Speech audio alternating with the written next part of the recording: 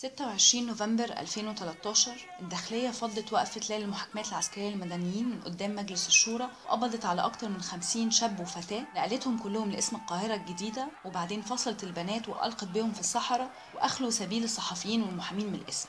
بعدها النيابة اتنقلت للاسم وحققت مع اللي باقيين كانوا 24 شاب وقررت حبسهم على ذمة القضية.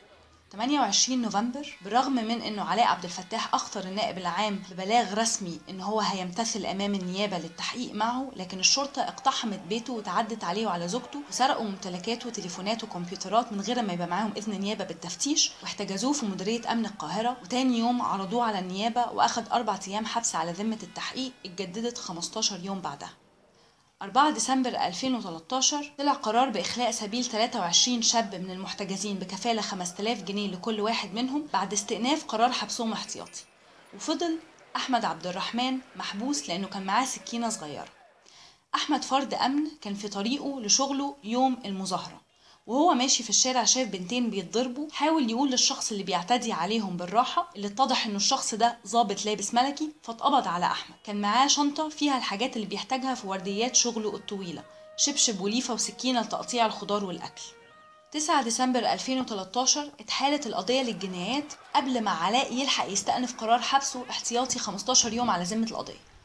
وقضى هو وأحمد عبد الرحمن أربع شهور حبس في الثقب الأسود من غير ما يتحدد لهم لا جلسة ولا يتعرضوا على قاضي ولا وكيل نيابة. 23 مارس 2014 اتحددت أول جلسة للقضية أمام دايرة إرهاب بمعهد أمناء الشرطة بطرق. وفي الجلسة دي قرر القاضي إخلاء سبيل أحمد عبد الرحمن وعلاء عبد الفتاح بكفالة 10000 جنيه لكل واحد مع استمرار المحاكمة. 17 مايو 2014 رفضت محكمة الاستئناف طلب دفاع علاء برد المحكمة رغم وجود خصومة مباشرة بين الدفاع وبين رئيس المحكمة لأن هم سبقوا وقدموا فيه بلاغ بالمشاركة في تزوير انتخابات 2005 11 يونيو 2014 القاضي حكم على كل الشباب ب 15 سنة سجن حكم غيابي رغم أن جزء منهم كان موجود قدام معهد الأمنة مستنيين الأمن يسمح لهم بالدخول لحضور محاكمتهم. بعد الحكم على طول طلعت المباحث الموجودة حوالين المعهد وقبضوا على نوبي ووائل متولي وعلاء عبد الفتاح. بدأت جلسات إعادة المحاكمة والعشرين الشاب اللي كانوا من بره السجن مخلى سبيلهم فضلوا مخلى سبيلهم ونوبي وعلاء ووائل فضلوا محبوسين.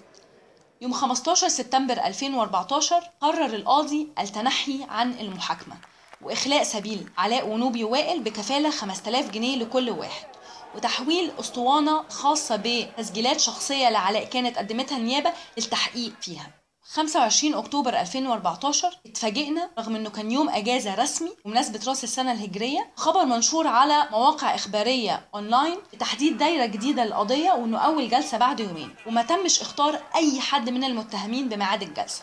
رغم كده يوم 27 أكتوبر أول جلسة في إعادة المحاكمة قدام الدايرة الجديدة حضر 20 شاب الجلسة طواعية وراحوا لنفسهم المحكمة يحضروها. ورغم كده القاضي قرر حبسهم احتياطي على ذمة القضية. 17 يناير بعد مرور أسابيع على المرافعة النهائية للنيابة كانت الجلسة الثالثه من مرافعات الدفاع وكان المفروض يبقى بيننا وبين جلسة النطق بالحكم جلسة واحدة.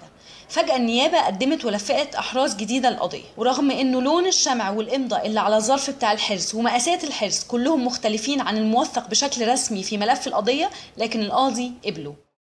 قضية الشورى مستمرة بقالها أكتر من سنة. مثال واضح جدا على التواطؤ التام والفج بين الداخلية والنيابة والقضاء. شهور وسنوات بتروح من أعمار شباب بكل سهولة بسبب غياب العدالة في بلدنا. الحرية للمعتقلين والحرية لكل مظلوم في بلدنا.